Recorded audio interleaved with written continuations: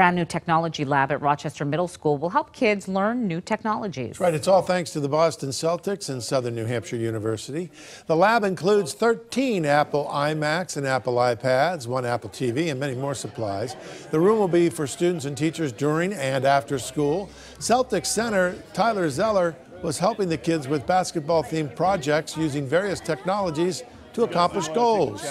This could be the first time they've been exposed to uh, some of this technology or any of this technology. And uh, they may find a passion for it, they may learn to love it, and um, you know, really kind of grow from there, and it may end up being one of their careers. I think it's incredible that we, we not only got this lab, um, that, that SNHU and the Celtics have donated to us, but we are also able to share the whole experience with our entire uh, student body and staff today. The kids are participating in activities using the new technology and will interact with Zeller and SNHU to learn the importance of technology and education.